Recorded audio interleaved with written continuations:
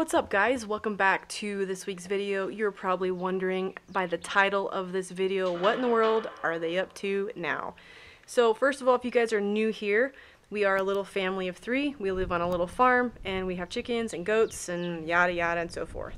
But today's video, I'm going to be putting this Jackery 1000 to the test and I'm going to be plugging up our Starlink internet to this Jackery power bank and I'm going to see how long it takes for this to go completely dead. Right now it's at 100%. We're gonna go plug in the Starlink and I'm gonna check in with you guys every maybe two hours or every hour and show you guys how much the percentage of the battery has went down.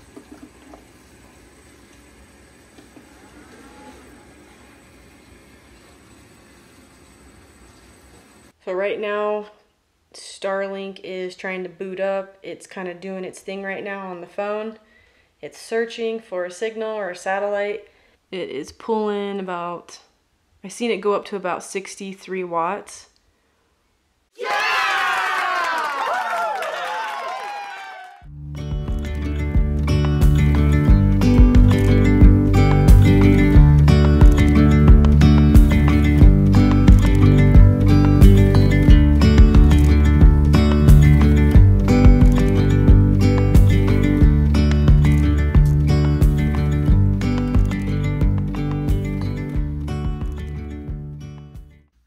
Guys, so it is now 9.22.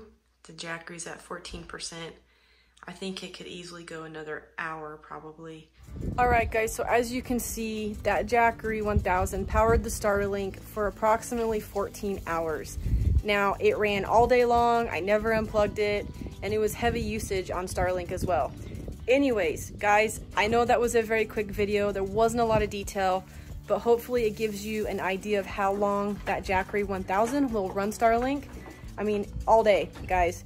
But with that being said, the Jackery takes a very long time to charge, even with it plugged into my wall at my house. So if you're gonna use Jackery out and abroad with Starlink, I would definitely recommend the 100 watt solar panel. If you can afford to get more solar panels, great. I only got one and here in the future, I will be going camping, fingers crossed, and I will definitely be putting that to the test and seeing if I can keep an adequate charge on the Jackery, running Starlink, and using the solar panel at the same time every day.